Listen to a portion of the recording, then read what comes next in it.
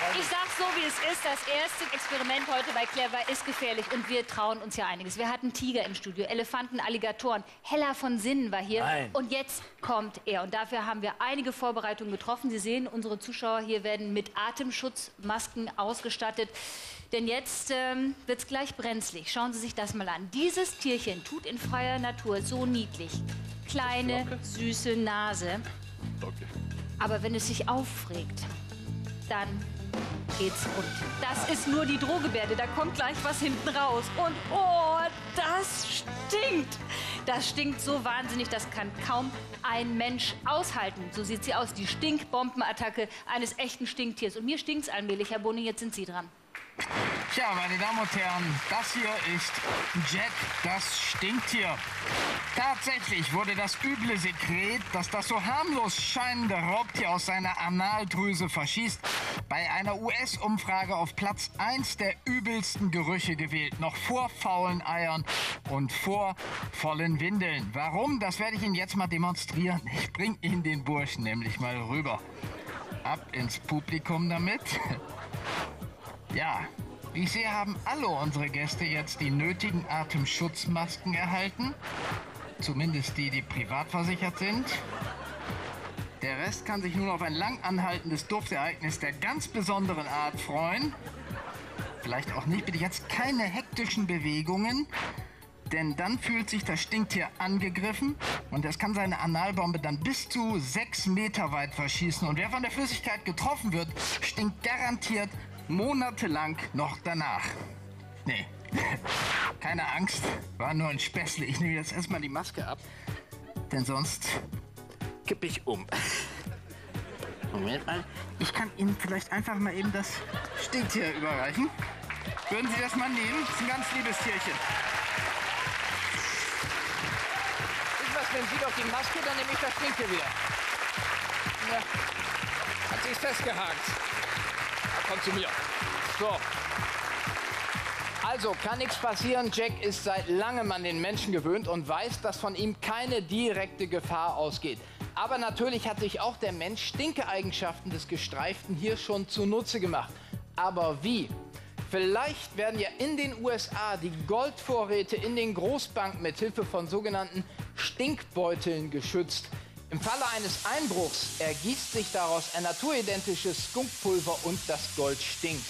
Möglicherweise wird die Stinktieranalmolke aber auch von Polizeieinheiten als Abschreckung von Dealern verwendet. Klassische Treffpunkte von Kleingangstern werden mit dem Zeugs behandelt. Und somit wäre es dann ein leichtes, die schweren Jungs von solchen Orten fernzuhalten. Es kann natürlich aber auch möglich sein, dass Skifahrer in lawinengefährdeten Gebieten sich mit kleinen Stinktiersaftflaschen ausrüsten. Und im Falle des Verschüttgehens öffnen sich halt so die Behälter, sodass der Gestank auch noch durch meterdicke Schneemassen von Hunden wahrnehmbar ist. Die reine Wahrheit oder erstunken und erlogen, Frau Edichmann. Das werden wir jetzt gemeinsam rausfinden. Wofür wird Stinktiergestank genutzt? Zur Sicherung von Gold. B. Zur Abschreckung von Dealern. Oder C. Zur Ortung von Lawinenopfern. Und Hans Werner ist als erster dran. Ich hätte noch eine vierte Variante und zwar benutze ich so ein Parfum. Und zwar wurde das aus Oh. den Schweißdrüsen tibetanischer Bergziegen gewonnen. Das benutze ich immer, wenn ich in der Diskothek bin und viel Platz auf der Tanzfläche haben will. Man könnte auch viele- sagen, du riechst wie ein Olm, aber ist ja egal. Ja, ja. Also ich, ich würde sagen, wenn es nicht meine Variante ist, würde ich die dritte nehmen. Ja? Ja, Skiheil, Ortung, Ja. Ortung von Lawinenopfern. finde ich nicht schlecht, ja. Ich finde, es klingt alles plausibel. Nehmen wir so. C für Hans Werner. Was sagst du dazu, Pascal? Ich weiß nicht, ob die das überleben würden. Also, Lawinenhunde. die, ja, ich habe keine Ahnung. Aber ich will natürlich auch äh, jetzt nicht bei, direkt bei der ersten Frage genau dasselbe sagen. Ich gehe einfach mal voll auf die äh, Polizei-Abschreck von Dealern-Methode und äh, setze einfach mal alles da drauf. Oh, da kommt aber direkt der Sportler durch. Ja? Setzt alles auf Sieg hier direkt mal dagegen. Aber okay, Abschreckung von Dealern kann auch sein. Gut, gegen das Wissen von Herrn Boning können wir drei hier sowieso nicht anstinken, denn der klärt uns jetzt auf. Herr Boning, bitte. Ja, das hier ist Skunk Shot. Ein künstlich hergestelltes Gel, das nach der chemischen Formel von Stinktiersekret gemischt wird.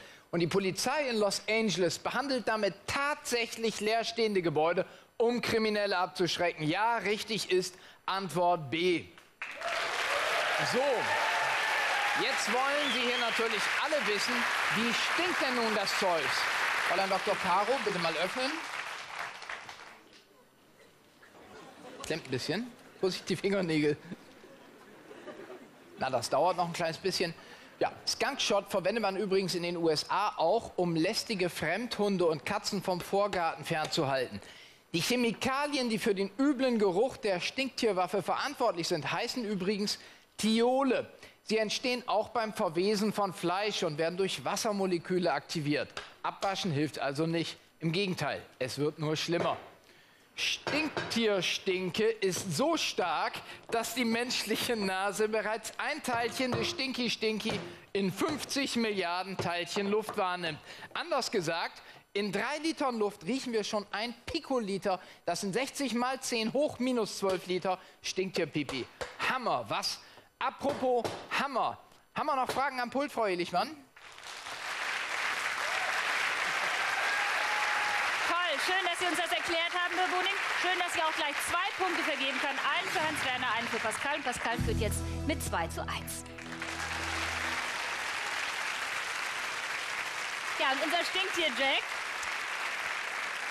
unser Stinktier Jack darf hier gleich mal noch eine ordentliche Duftmarke setzen. Und ich wedel mal ein bisschen mit seinem Schwanz. Für ihn ist es auch selten, dass man das kann. Nicht schlecht. Ach, was wird sie hier alles heute noch erwarten? Herr Boning zum Beispiel riskiert eine echt dicke Lippe und ist dabei total durch den Wind. Er hat sich wieder nicht geschont, um Ihnen Spaß zu machen und was beizubringen. Oh, sieht ein bisschen doof aus. Aber egal, mal nicht so gemeint, Herr Boning. Ja, und dann ist natürlich noch die Sache mit der Flasche und dem hohen Ton. Probieren Sie zu Hause das doch noch mal aus. Wo ist der Ton denn wohl höher? In der Flasche mit wenig oder mit viel Wasser? Rot oder grün? 0137 944 3030 ist unsere Telefonnummer.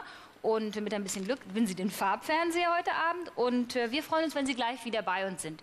Bis gleich.